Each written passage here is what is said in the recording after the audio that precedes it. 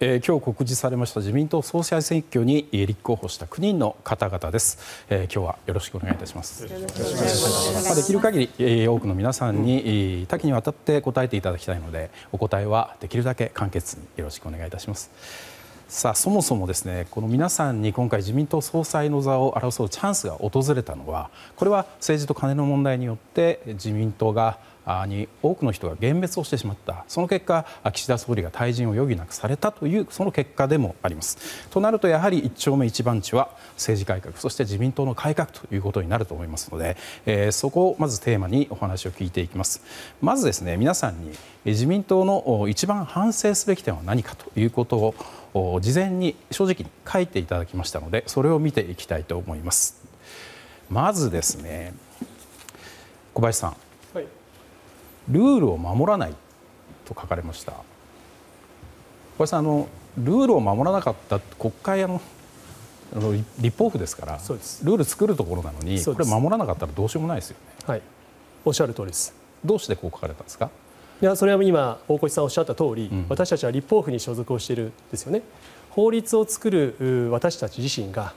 自分たちで作った法律を守れなかった。非常にシンプルですけれども非常に深刻な時代だったと思います。なるほど。林さんに伺います、はい、林さんは政治と金というふうに書かれました。そのものズバリだと思いますが具体的に言うとどういうところでしょう、ね、え具体的にはどういうことそうですね。あの不記載の問題があったと思います。であのそれがまあ発端になってですねじゃあそのお金どうなったのと普通の方はみんなきちっと帳簿つけて、うん、で、えー、税務署申告してとそれと比べてどうなの？と、まあ、いろんな問題が出たところがもうここに集約されていると思います。石破さん。石破さんは謙虚さの欠如と書かれました、えー、あり方論だと思うんですけどもこれはどういう思いで書かれたんでしょうか、うん、いろいろね説明も一生懸命しています。ただこうともすればね自分に対する反省でもあるんだけど何が悪いんだみたいな、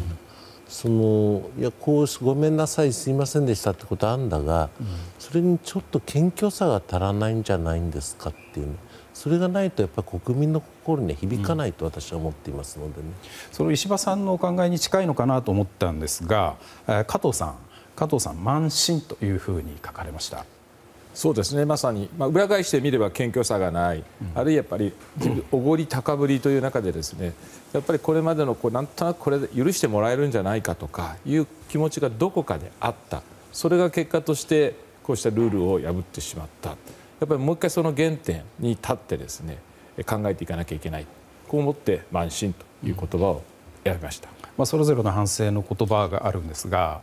えー、上川さん。上川さんは倫理観の欠如から来たんだというお考えですよね。この倫理観という言葉を使われたのはなぜでしょう？か。えー、まずあの法令遵守これはあの順法精神をしっかり生かして、これに従って行動するということは極めて重要だと思っています。はい、えー、さらに、えー、やはり政治家はそれ以上の倫理観を持っているべき存在であるというふうに思っておりまして、はい、その意味では基本的に倫理観が欠如していたのではないかとここが国民の皆さんの意識の間に大きなギャップを生じさせていたと、うん、こんなふうに思っています。なるほど。ちょっとその毛色の違ったことを書かれているのが河野さん。河野さんは改革のスピードが不十分だったんだということを言われます、えー、これについてどんなことを考えておられますか？あのこの不記載の問題が起きたときにしかも何十人不記載になってしまった。これは何が原因だったかという原因究明をしっかりやった上で処分をするなら処分をその時にして、うん、あのデジタル化ならデジタル化をやります。非課税にしていただいているものについては領収書をつけてちゃんと公開しますという処分まで、えー、きっちり初動ができていればあのこんな不信を招くことはなかった。それができなかったというところに尽きるんだと思います、まあ、初動の遅れという話が出ましたが高市さん、はい、高市さん説明の遅さというふうに書かれてますが、はい、えー、通ずるものはあるでしょうかまあ、どんな組織でもそうだと思うんですが、うん、何か問題が発生した時にですねあの、まあ、その原因究明に時間がかかる場合もありますけれど、はい、まず問題が発生したということを発表する、うん、まあ、そして、まあ、それが間違ったことであれば、まあ、謝罪のあの効果っていうのはやはりその地位に比例し、そして時間に反比例すると言われますから、まあ、できるだけ早く地位の高い方が出てきてそして間違ったことであれば、まあ、しっかりと迅速に謝罪をすると。いう、まあ、このプロセス。それからまあその後原因究明がしっかりとできたその都度きちっと発表していくと、まあ、この初動は非常に遅かったと私は感じます。うんさあその現職幹事長の茂木さん、はい、あの 国民感覚、地方の声とのずれというふうに書かれました。あの国民から選ばれた立法府の人間ですから法律を守るのは当然のことなんですけれどそれができていなかった、うん、そのことは反省しなければいけないと思っております。あの法律はあるんですね。しかしそれが守られなかったんですからより政治家自身が責任を負う。さらには透明性を高める。えこういう改革を進めていかなければいけないと。こんなふうに思っています。さあそして小泉さん小泉さんは簡潔に2文字で決着と書かれました、これはあのこの政治と金の問題とかそのことも含めての決着ということですそうです。これは政治と金の問題と決着の文脈でいうと高市さんの説明に私は、あの似ていると思うんですけど、うん、これだけ長くいまだに政治と金の問題に決着をつけられていない、うん。これはやはり反省すべきだと思っていますしあの政治と金に限らず例えば選択的夫婦別姓などについても30年議論を続けて答えを出せずに決着をつかねつけていないんですよね。なので私は総じてやはり決着っていうのが私の中ではキーワードです、うん、まあ、先ほどの河野さんの改革のスピードが遅いんだというところにも通じるかなというそうですね。はい。あのですねまあ、今、短くそれぞれまとめていただきましたけれどもやっぱり具体的にここは聞いていきたいというふうに思います。あのまあ、岸田総理が退陣をせざるを得なかった。まあ、そのことはですねやはりそのきちんと政治と金の問題にけじめがついていないのではないかということをいまだにやっぱり多くの方が抱いているということの一つの表れではないかというふうに思うんです。そこでですねこのけじめというものをつけるために、まあ、皆さんどのような対策を講じていくのかこれから聞いていきたいというふうに思うんですけどもまずけじめです、えー、まずはですねこの自民党執行部がいわゆるこの裏金問題で行った処分の中身というものを見ていきます。はい、自民党はいわゆる裏金問題で39人に、出ますでしょうか？39人に処分を下しました。こちらですね。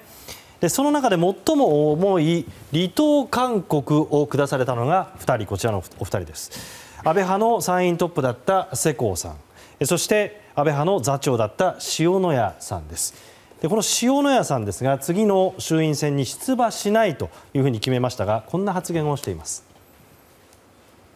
私もですねあの処分については非常に、えー、悔しいあるいは大変憤りを感じているところでございます。最初からやっぱり、えー、この問題はあの努めて、えー、党全体の問題だと。最後に自分が辞めるっていうのもこれは何なんだという思いがありますよね、我々は犬死にしたようなそんな思いですよ、残念ながら。まあ、党全体の問題なんだけど自分が犬死にをさせられたというような言い方なんですが、えー、処分を下した側にいらした茂木さん今の発言どのように受け止めますか？あのまずですね、えっと、多くの方から見てですね今回の処分は甘いんじゃないかと、はい、こういう声はあの、あるんだと思います。ただあの政治資金の問題について党が行った処分では、今までで最もですね、大きなというか、はい。重い処分になっているのは確かなんだと私は思っております。なるほど。まあ、しかしですね、まあ、世論調査など我々行いましてもですね、まあ、今、処分を受けた側の、まあ、不公平な感じというものが VTR にありましたけれどもやはりその今に至るまでですねこの政治と金の問題でけじめついてないよねっていうことを感じている方はいらっしゃるんです。あの高市さん、はい。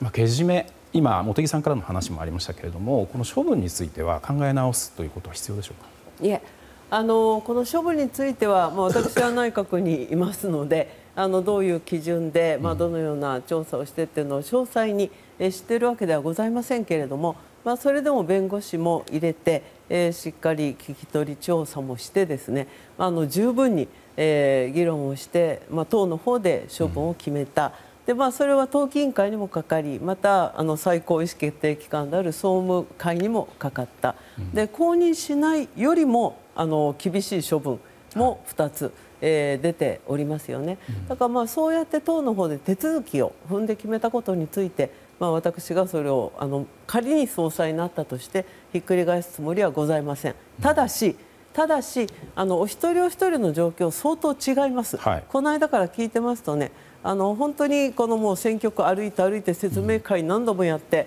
うん、でまあ、自分の、あの収支もすべて公開してですね、うん、でもこの話はいいから次の国政の話をしてくれって言われている方もいる。それからまたあの不記載だった分を派閥の方にもすでに返したと。だからまあ派閥が清算をする前にですね返したという方もいて、人によってずいぶん事情が違います。ただ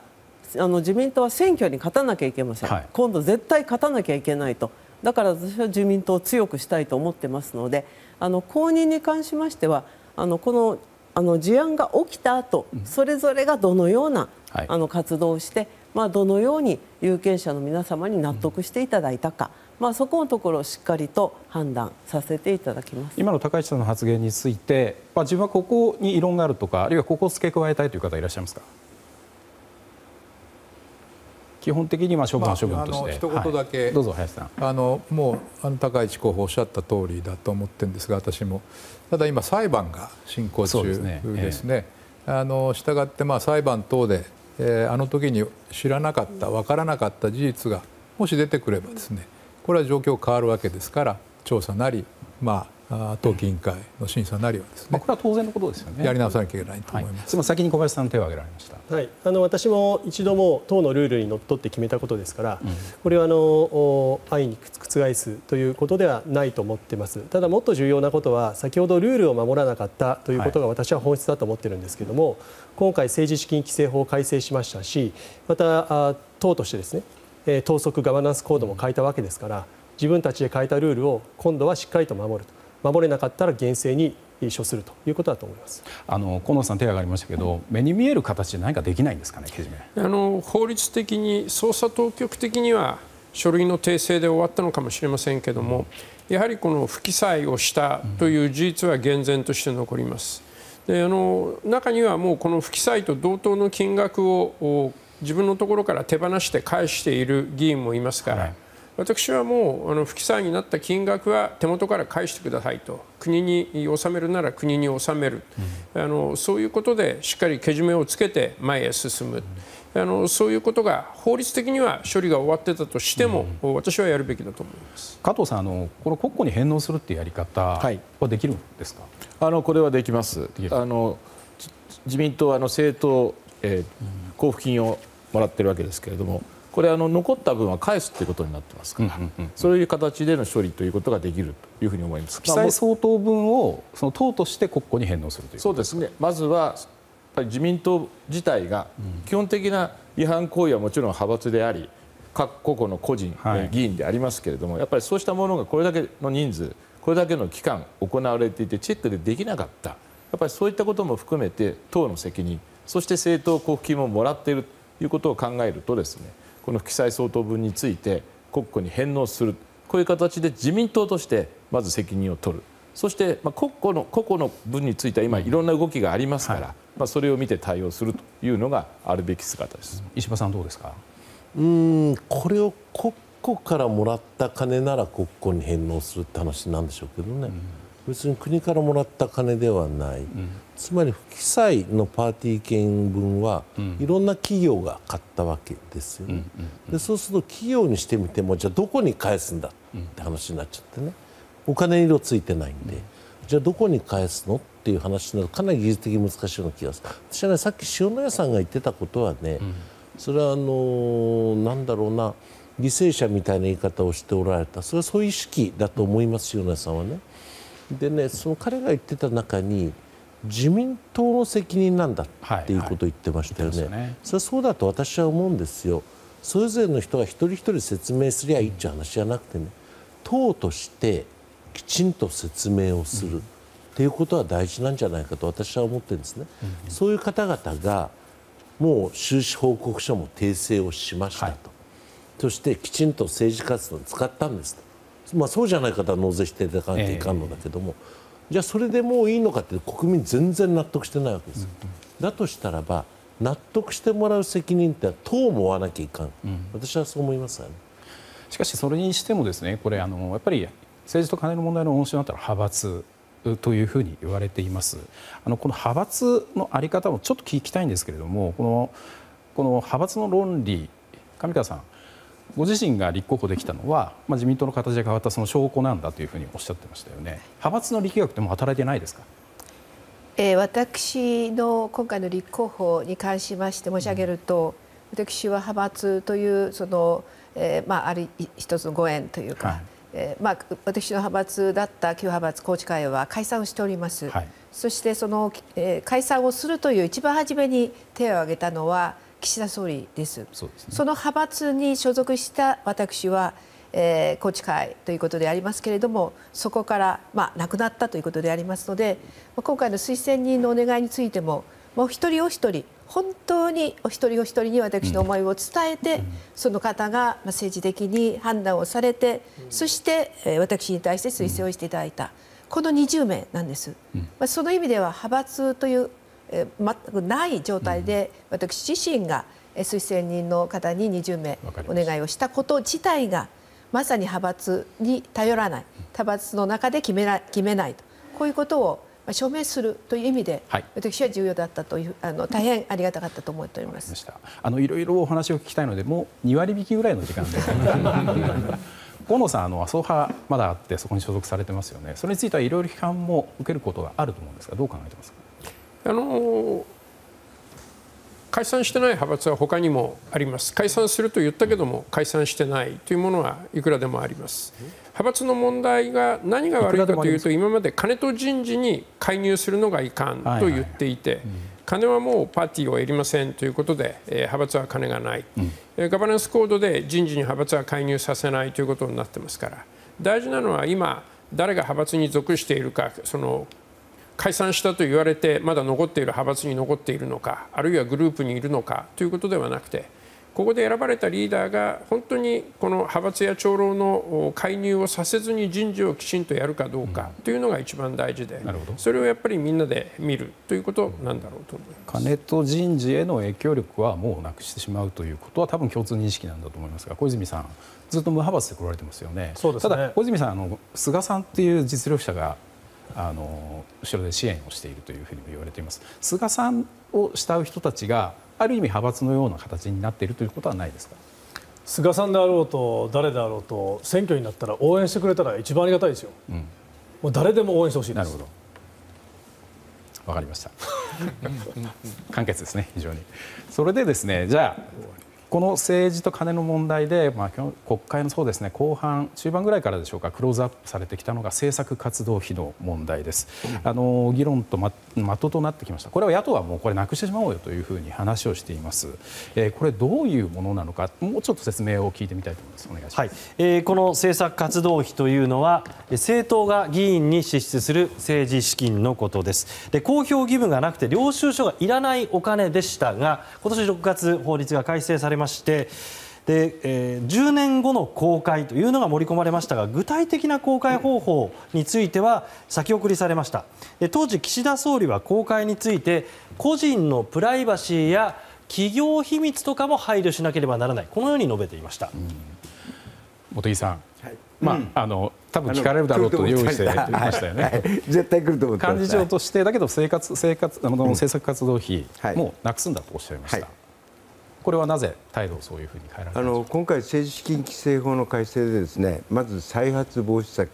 議員本人に対する厳罰化であったりとかパーティー収入のですね公開の上限をどうするかこういったことを決めて最後の段階でですね、このせあの政策活動費等々について今後どうするかということでその上限をいくらにするか、うん、それから、えー、公開の仕方をどうするかっていう課題が残ったわけなんですね。これどうしようか自分なりに考えてですね、まあ、これはあの仕分けをして公開をすることができる。だからせ、えー、と政策活動費としては廃止することができる、あの最初に私が申し上げて幹事長として、あの大半の方がですねやはりその方向になっている、これはあの自民党としてできると思ってなるほど。大半の方はなってますでしょうかこの政策活動費廃止に賛成の方これは挙手だけでお願いします。いらっしゃいますか、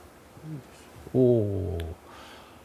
林さん、はい、さっき岸田さんのですね総理大臣の説明もありましたけれども、やっぱりまあ内閣官房長官ですからこれを決めた時の、お気持ちもそうかなと思うんですけれども。こうなぜ廃止とはいかないんでしょうそうですね。あの、まあ、現職の幹事長がおっしゃってるんで、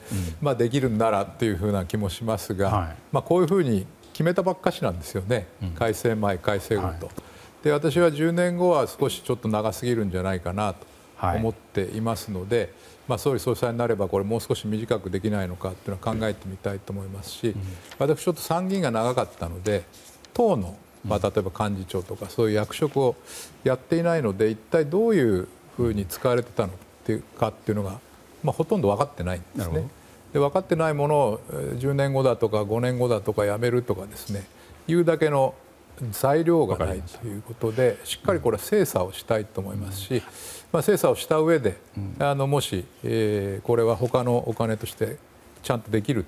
ということになればですねこれは廃止ということもあり得ると思います。あの岸田総理の答弁の中で、まあ、ここはまあ、仕事をしている人間だったらある程度分かるなっていうのはその個人のプライバシーとか企業の企業秘密なんかも含まれるんで、まあ、配慮しなきゃいけないと。だからすぐ廃止すぐ公開とかですね透明化のにはすぐにはなじまないんだっていう声もあって、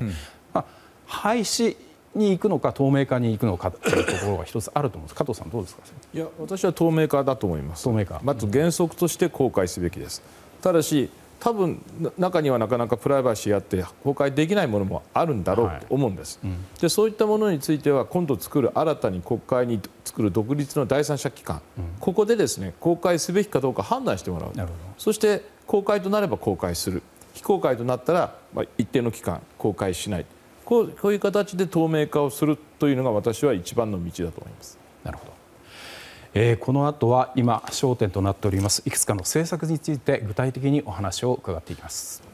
自民党総裁選挙9人の候補者にお話を聞いています。恐れの皆さんは皆さんも自民党の議員としてのベテランですし基本政策例えば安保外交あるいは経済大きな違いはないと思うので、ここからはですね一方で私たちのこの身近な暮らしの中では非常にこう重要なあ問題がある。それについて皆さん意見の違いも出てきているのでそういった問題を見ていきたいと思います。その代表例として選択的夫婦別姓の問題です。はい。この選択的夫婦別姓についてですが「報道ステーション」の世論調査ではこのような結果となっています。賛成と答えた人が6割を超えていますね。なるほど皆さんの手元に左手ですかねあのフリップを用意してあります、まあ、なかなか難しいよというふうな問題でもありますけれどもこの選択的夫婦別姓の実施について、えー、賛成か反対かを丸か×でお示しください。脇のところに置いてあります、はい、左脇に小林さんあります、はい、それですそれです。ではお示しください。裏あ裏。丸か×か。丸か×かで、はい、出していただけますか、はい、これ両方出したいんですけど。悩ましい態度である方は悩ましい態度で、はい、じゃあ。じゃあ。こうですか。そうですね。じゃあ。そその丸×でもないということですね。どちらでもない。まあそうです、ね、さんもそうですね、はい、ですね。はい。えー、林さんはちょっと下目に置いてるのは別に意味はないですね。あの説明させていただければ、はい、あのこの反対と賛成で2択で聞くとこうなるんですね。はい、であのあの政府がやった世論調査があって通商使用をもっと拡大してほしいっていう第3の選択肢を入れると、ちょうど、えー、賛成の中のですね、まあ、40ぐらいかな、はい、がそっちになって賛成が20ぐらいになるんです。したがってもう少しその聞き方をこう詳しく聞いていただいて、はい。で皆さんがこの辺があの納得できるなっていうところに少し修練させていかないとこれだけだと賛成が62だからもうやった方がいいんじゃないかっていうふうになるんですけど、実際は通商使用ずいぶん進めてきてますので、まあ、そういうところも選択肢に入れて、はい、そしてあの意見を集約するっていう必要があるのかなと思ってだから今はちょっと北京皆さん割と早く閉まれるんですね。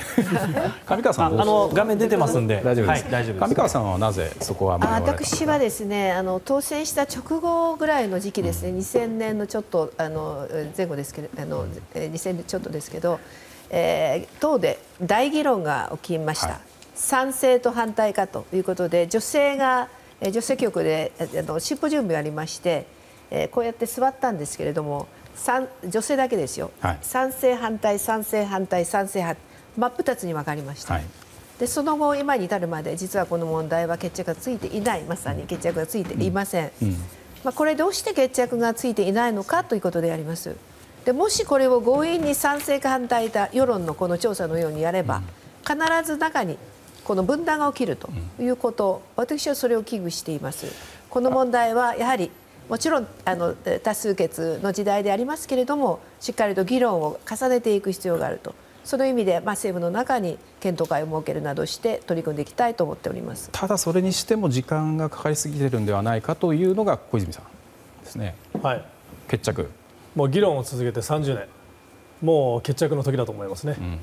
私は総理総裁になったら国会に法案を提出します、うん、そして国会で国民の議論も深めていただきながら最終的には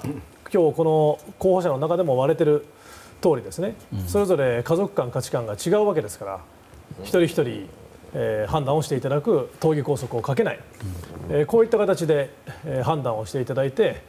えー、今、このまま同姓でいきたいという方には同姓の選択肢は姓のままなわけですから、はい、えー、別姓を選択したいという選択性、この選びたいという方に対して選ぶ選択肢を増やす社会を作る。これが私が言っている一人一人、え、選択肢人生の選択肢を増やしたい、え、こういった思いを持ってこの総裁選を私は議論を展開をしていきたいと思います、高市さん、はい、これ経団連も高市さんもこれ待ってましたというような表情されましたけど 経団連もですね、やっぱりその、まあ、国際的に働くその特に女性ですよね、はい、非常に不都合が多いということを挙げていたりして、まあ、経団連までもこの選択的夫婦別姓というものの実施をこう推奨しているわけですよね。うんまあ、あの多少データが古いですね、あの不動産登記は今、給字使ってもできるようになってますし、はい、パスポートも、可能な制度として、はい、可能な制度ですね、はい、あの今、可能な制度ですよね、はい、あの私自身はあの本当に長年にわたって、えー、婚姻前の氏を、えー、通称としてえ使える範囲を広げるための活動を続けてきました。まあ、そんな中でちゃんと法律案も書いてですね、うん、婚姻前の氏の通称使用に関する法律案も書いて、えー、自民党政調会の法務部会に提出してこれで2回提出をしております。はいはい、でまたあの総務大臣の時には総務省単独で、えー、変えられるもの全部の制度を見直してですね1142件すべ、ての手続きが給字でもできるようになりました、うん、それからまたあの住民票にちゃんと給字も併記できるようにしたし、はい、マイナンバーカードにも併記できるようにしたと、まあ、いうことで、まあ、自分の手でやれることはやったんです。ただあの他の役所の大臣もせーのでで同じことやってくれんかったらですね例えばあの金融庁が号令かけてくれんかったら銀行で、まあ、8割ぐらいは今のところ給仕でも OK って言うんやけれどもあと2割ぐらいがですねあの戸籍有事しかだめと、まあ、いうようなところが残っていると。でももう総務省は全部できましたからね。そうすると全部のやっぱり国地方公共団体、はいはい、それから講師の機関、企業があの通称使用届を出された方については婚姻前の字をちゃんと使えるえー、その環境を整える義務を課す法律案を出しております、まあ、制度的にその網をかけていくっていうことでなんとかなるもんですか加藤さん？なりますね。加藤さんいかがですか、はい、あまずあの経団連の皆さんはやっぱり不都合なことを言っておられます、はい、制度をどうしろというところまで言っておられないと私は認識しています。じゃあその不都合を解消するのはやっぱり政治の役割だと思いますが、ただ一方で今の家族が同じ姓を使う。これは基本に私は残す。中で、旧姓というものを通称でかなりいきますがそれにとどまらず法律の中で旧姓を姓としてあるいは氏として使うということを認める。そして旧姓を使い続けられるようにする。私は旧姓続称長く続けて言えるという旧姓続称制度と申し上げていますがこういったことも一つの考えであると思います、うん。あのまあ、利便性を高めていくということは当然あると思うんです。まあ、小林さん手を挙げられましたけれどもただそのやっぱりこれアイデンティティの問題でもあるのかなというふうにも思うんですよね。やっぱり特に95%がこの問題の当事者だとすると女性が主なその当事者だとすればですね。そのやっぱり女性が国際的に働いていく中で自分のその生まれた時の名前というものがしっかりそのアイデンティティとして認められないという思いだって当然あるんだと思うんです。小林さんどうですか？はい。あの2点ありましてまずあの先ほど経団連の話が出たんですけれども、うん、その旧姓で金融機関に口座が作れないと、まあ、作りにくいということあると言われているんですけれども、まあ、例えば銀行だと7割作れるんですよね、うん、残り3割は作れない。今は作れないんですけどだとすると制度上は作れるわけですから、うん、その経団連からの方々からその会員企業の皆さんに対して、えー、そこは不便を解消するように、働きかけがあってもいいんじゃないかなというふうに思うのが一つ、はい、もう一つは大人のが選択権というのはまあ大切なのかもしれないですけど子どもの視点に立って物事を考えてみるということも私は必要だと思います。その例えば兄弟姉妹がの中で、うん、えー、性が別々になることをどう考えるのか。そうしたことも含めてですねえー、もう少し複眼的な視点からあしっかりと考えてこれ一気に決めればいいというものではなくてやっぱり粘り強く時間をかけてでも社会的なコンセンサスを得ていくっていうのが私は政治の本質なのではないかというふうに思います。河野さんあの改革とスピードっていうことをおそらくいろんなテーマについて冒頭挙げられたと思うんですよね。まだ社会的コンセンサスを得るまで議論をしましょうというのが今の小林さんなどの意見です。その河野さんの方針から照らして丸を抱えられてますけれどもどうですか？あの以前、臓器移植法というのがあって脳死を人の死と考えるかどうか、はい、これもなかなか歩み流ができませんでした。これはもう最後党議拘束を外してあの臓器移植法改正法を通していただきました。こういうこの社会的な課題があるもので、えー、倫理的な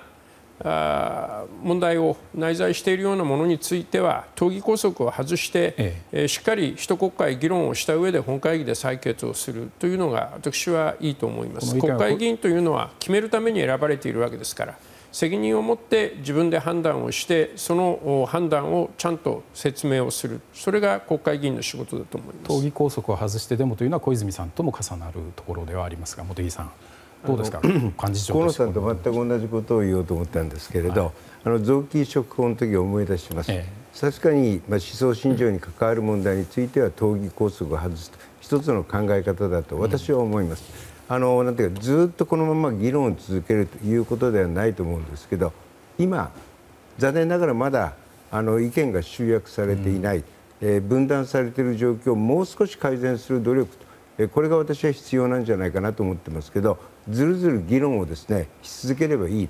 こういう問題でもないと思ってます。石破さん石破さんは基本的に賛成ということなんですけれどもこれいつになったらこの問題はこの議論から卒業できるでしょうね？これは早い方がいいですよ。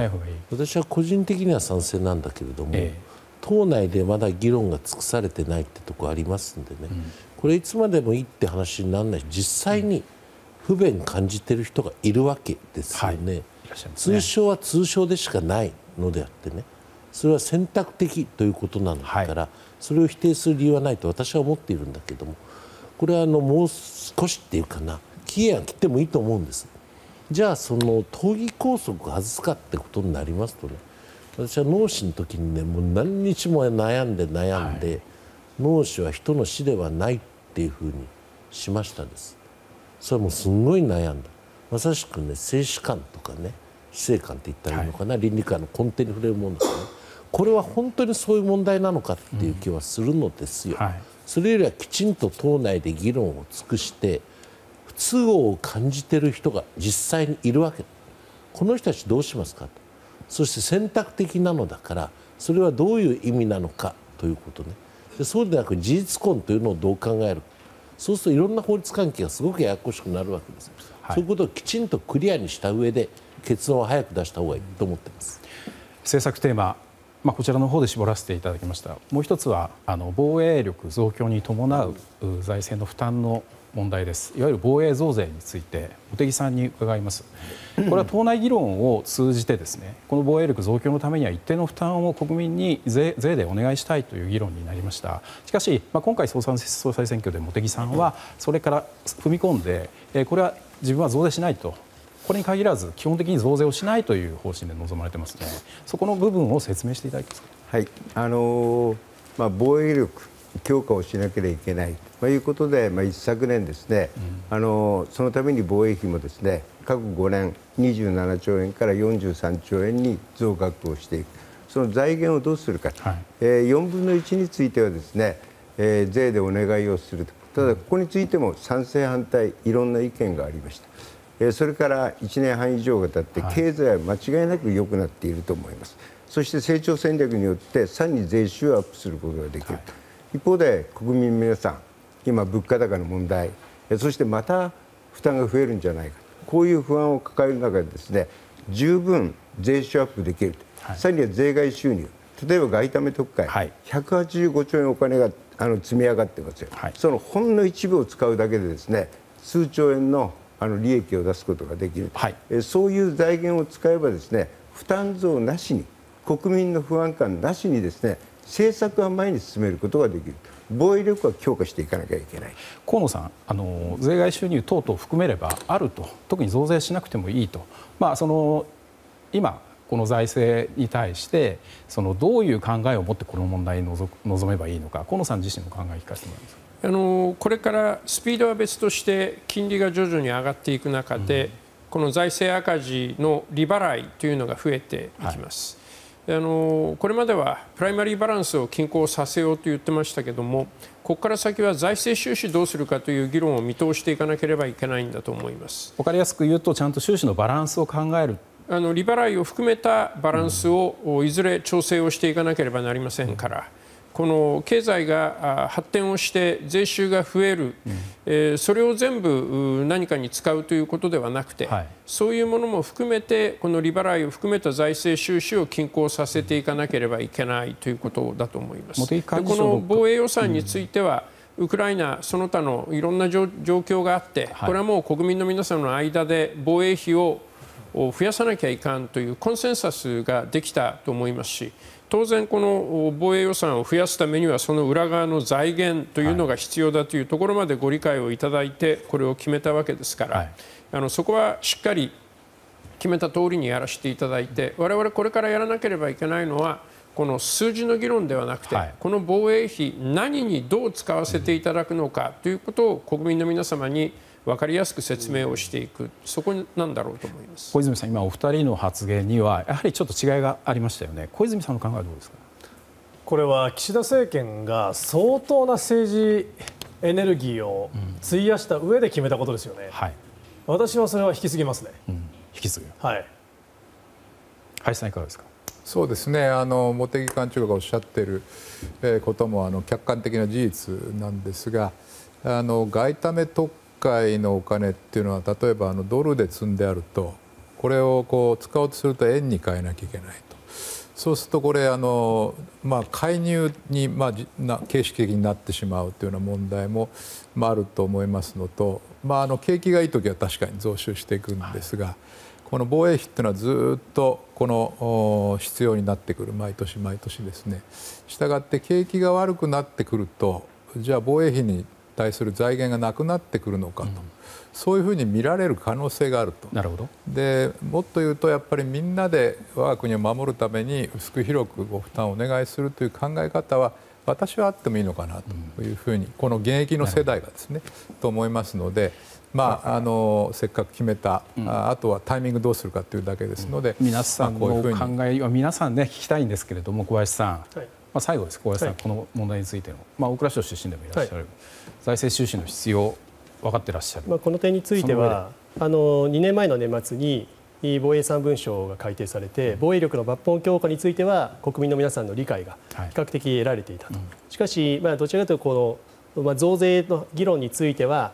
まあ、ちょっと唐突感があって国民の納得感という意味ではなかなか得られてなかったんじゃないかというふうに感じたので、年明けの去年の1月に、自民党内に防衛財源の特命委員会を立ち上げまして、まあ、私が事務局長をやったんですけど本当に財源がないのかということであの国有財産、土地、建物、政府保有株式あるいは特別会計の財務諸表すべてこうめくってですね本当にないのかって見たときに今あの話題になっていた外為特会の剰余金ですとか決算剰余金というところでまだあるだろうということで当初早ければ令和6年度から増税スタートという感じだったんですけれども、はい、そこは最大限今あの後ろ倒しにしているところです。一方でこの閣議決定というのは私はやっぱりまあそれなりに重いものだというふうに思ってますので、まあ、それを踏まえつつもその今後のその経済情勢というものもしっかりと注意しつつ判断していけばいいんだろうと思っています。この後は新しい政権の人事そして衆議院解散について伺っていきます。えー、防衛力増強について自分たちももっと話したいという方もおられますので加藤さん、防衛力増強と国民負担、まずあの今まで話がありましたようにこれ議論するときにいろんな財源が当たってきました、はい、歳出改革の分それから決算剰余金をどう使うかそれからこれまでたまたまってきたお金をまとめてこれ防衛資金として使う、はい、その上で増税分として考えてきた、はい、でその前提としてはですね年々それは自然増収することもあるでしょう。外為のそうしたお金もあるでしょう。それらも前提で議論してきたわけですから、うん、そこはよく見ていくということとそれからもう一つ自然増収があっても、はい、一方で人件費とか物件費とか増えていくお金も必ずありますからやっぱりそこはよく見ながら議論しないとあのここだけプラスだけ見て大丈夫だというのは私は慎重に考えるべきだと。なるほど。石破さんいかがですか？イージス艦ってね私が長官やってた頃は一隻1300億円だったんです。イージス艦はね、うん、今2000億円しますから、はい、ものすごく高くなってるわけですよ、うん、で子育て予算もそうなんですけどね少子化対策も、はい、これも財源きちんとしてないじゃないですか。何に対してご負担をいただくか、うん、誰が負担する能力を持っているかってことはきちんと精査をしないといかんです政治は手品でも法でもないんでね。そして誰が負担する能力を持ってますか？誰が防衛力を強化することで利益を受けますか？応益負担と応能負担の接点は何ですか？ということであってね。これじゃあなんで防衛増税だけやりませんよ、はい、じゃあ他のはどうなるんですかって。それ税体系全体の問題です。なるほど。高石さん。はい私はあの昨年年末この閣議決定前に、えー、今は防衛増税のタイミングじゃないと言って揉め事を起こした一人でございますので あの話をさせていただきますけれども、はい、あのやはりもう今あの景気をですねあの良くするもう経済を良くするっていうのがもう大前提だと思いますね。だからあのやはりこの GDP を大きくするで、まあ、税収を増やす、まあ、そのための策を練らなきゃいけない、で先ほどあの茂木、えー、幹事長もおっしゃっていただいたこの外為特会も、まあ、評価益だけ見ても、まあ、30兆円も使えるお金はあるわけですよ、それからやっぱり安倍総理がおっしゃってたんですけれども、あの道路とか走ってるのは次の世代に、まあ、インフラを残すってことで建設コストさえ使えるよね。で、まあ、防衛国債も必要じゃないかと。これはもう次の世代に祖国を残すためだとおっしゃいました。今の建設国債は、あの海上自衛隊には使えるようになりましたけれども、まあ、これを陸上自衛隊やあの航空自衛隊にも私は使うべきだと考えています。でまあ、増税についてはこれも景気を腰折れさせたら何にもなりませんので、まあ、経済成長、まあ、これをしっかり見てタイミングを考えるということ今は反対です。わかりましたこの後はですね、まあ、皆さんがまあ、組閣をされるあるいは党役員人事を決められる総裁になった時にですねいやこんなもの聞くもんじゃないよってさっき石破さんに怒られたんですけども あの答えなくても結構です。もし自分の中に党の幹事長あるいは要の内閣官房長官この人を当てるっていう構想をお持ちの方がいらっしゃったら手を挙げてくださいもうすでにこの人がいるんだ一の人がいるという方はどうですかいらっしゃいますかいらっしゃるはい小林さんいらっしゃるでもそれをあの別に個々の名前をここで言う必要はないとは思ってますけど、はいうん、それはどういう観点からその人がいいと思ってますか？ご自身が政権若い小林さんが政権を担う時にどういう方をその、まあ、バディとして政権、はい、あるいは内閣を運営するかということになると思います、はい、まず党の幹事長は党全体を掌握できるような方だと思っています、うん。うん、で官房長官はその党すなわちま幹事長ともしっかりとコミュニケーションできるということとやはり総理総裁が離れているときに、ま官房長官がまさに危機管理を担うわけですからその危機管理のそのという意味での判断がしっかりできる人だと思っています。今のように具体的な名前云々ではなくて自分がバディを組むとしたらどういう人だっていうことについてお考えをお持ちの方いらっしゃいますか？茂木さん。あの2つの基準です、はい。えー、1つはやっぱり改革マインドを持っていること、はいはい、そして結果を出さなくちゃいけませんから実行力ある人、まあ、このバランスで組んでいくということになると思います。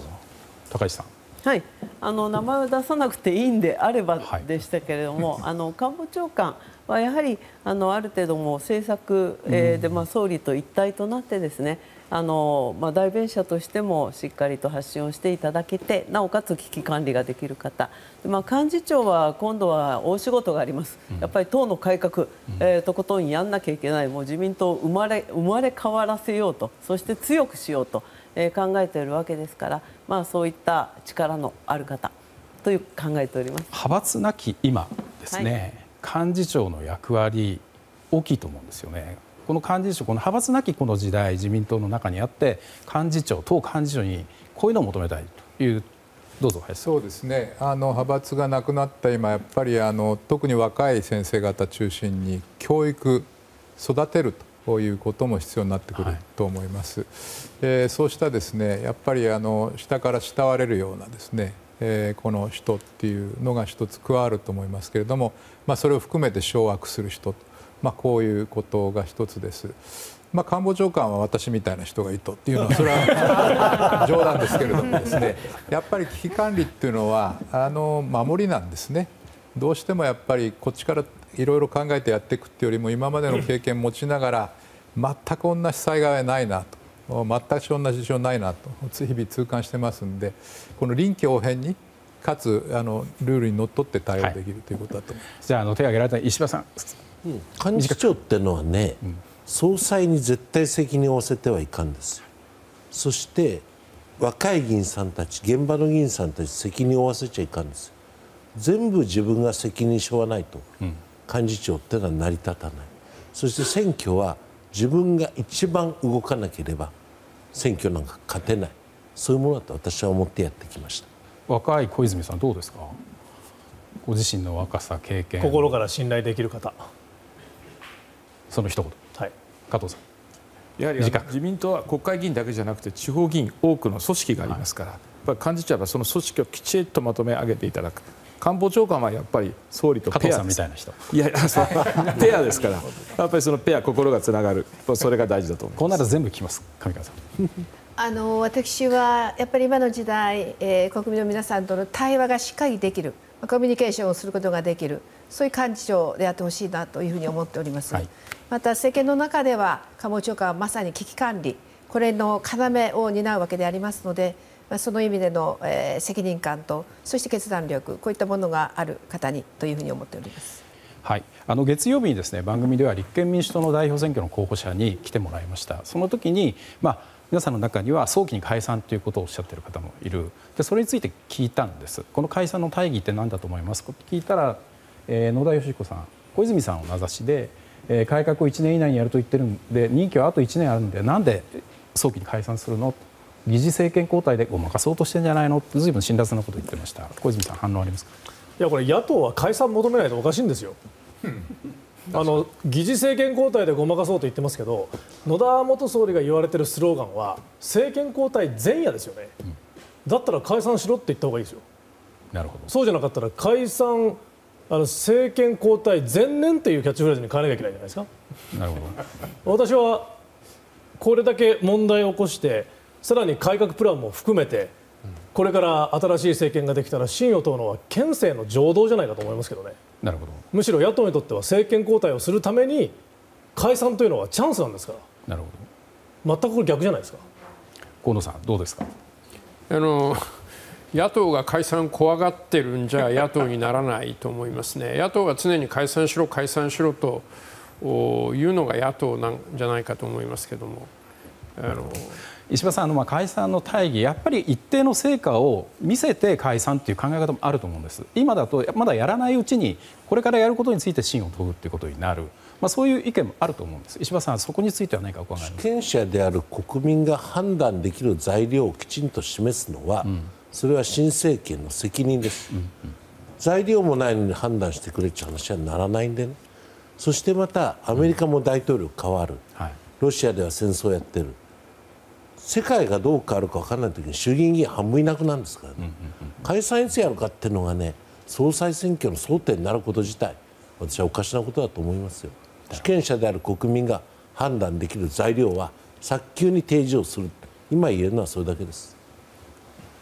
話を締めていただいたところでまだ皆さんおっしゃりたいことたくさんあると思いますけれども時間も制限があります。今日はこれで失礼をさせていただきます、えー、今日は自民党総裁選挙27日に開票が行われます。その総裁選挙の9人の候補者においでいただきました。皆さんどうもありがとうございました。ありがとうご